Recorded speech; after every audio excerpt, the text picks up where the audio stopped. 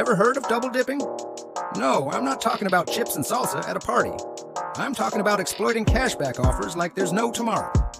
Sign up for multiple credit cards with juicy cashback deals, make your purchase, get that sweet cashback, and then return the item for a refund.